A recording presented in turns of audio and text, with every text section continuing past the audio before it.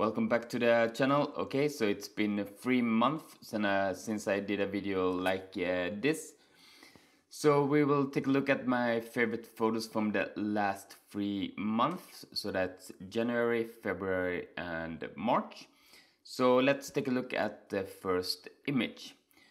The first image is uh, this one. It's uh, from a place called Järvsö here in Sweden and it's on uh, a random skier in the sunrise.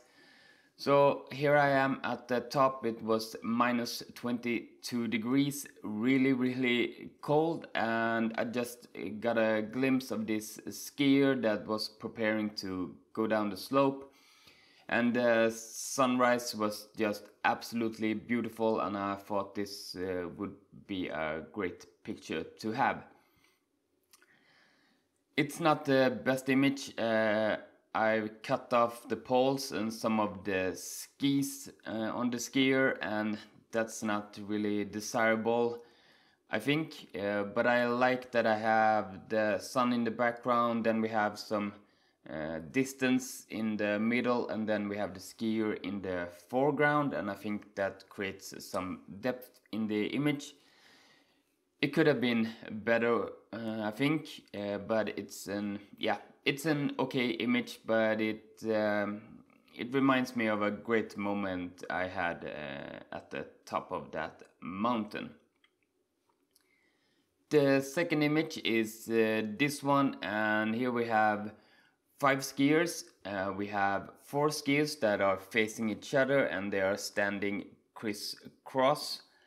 Uh, and I really like that. I think it creates a kind of a interesting composition. I wish the fifth skier on the left side wouldn't be in the frame. I don't really think he adds something to the image. And I wish the background on the image uh, would have been more interesting, but it's an okay image. But the main thing that I really like about this image is the skiers that are facing each other. I think that's kind of an interesting element.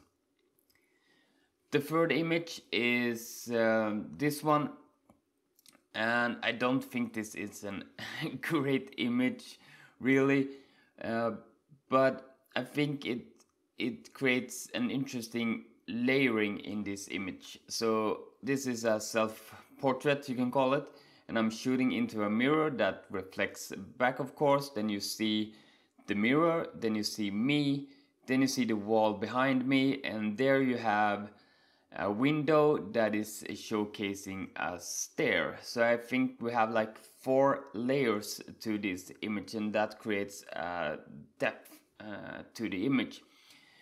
It could have been more interesting if we had someone walking in the staircase in the background. Unfortunately, we don't have that in this image.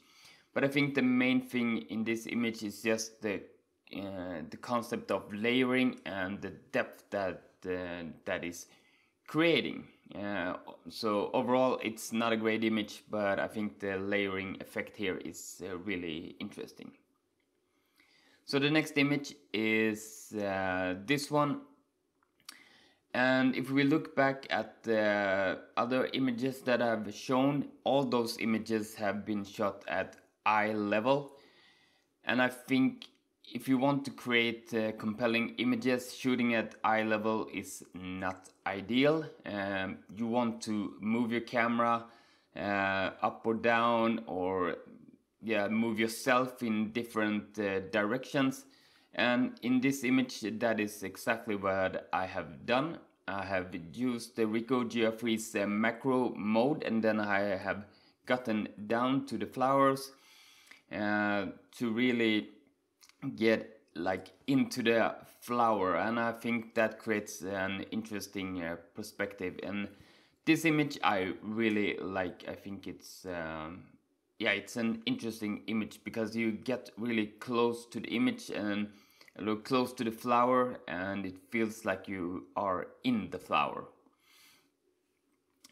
So the next image is also an image uh, that I really like and once again I have used Ricoh GR3's macro mode and I have gotten really close to this subject. And I think that is what makes uh, this an interesting image because you can't really um, tell what what, what the subject is that I'm shooting and I think that creates an interesting element uh, to uh, this uh, image.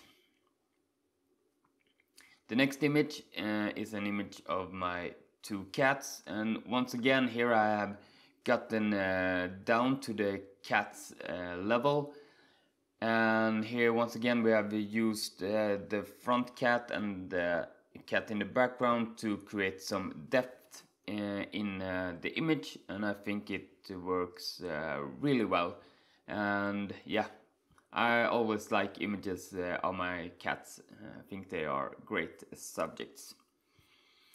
And the last image uh, here once again it's one of my cats and here the subject really is the light that hits her face and I think that creates an uh, really interesting image where where you see just the light on her face and everything else in is in uh, shadow.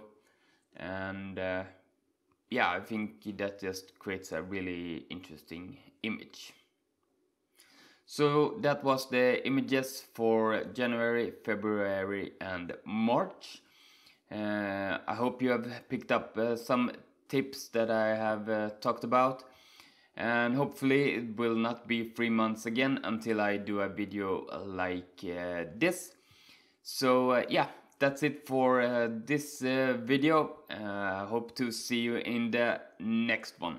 Okay, bye.